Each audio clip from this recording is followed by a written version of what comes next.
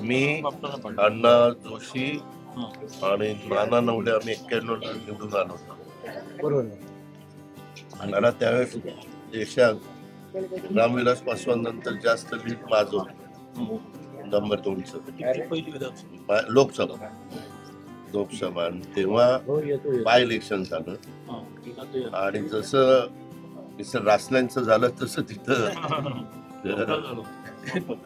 म्हणजे फार जोरात अण्णा जोशी आमदारचे खासदार. पंधरा दिवसात कुठला तरी एक राजीनामा द्यावा लागतो त्यांनी आमदारकीचा राजीनामा दिला. बाय लक्षात सगळी मंडळीनं ते इलेक्शन ताब्यात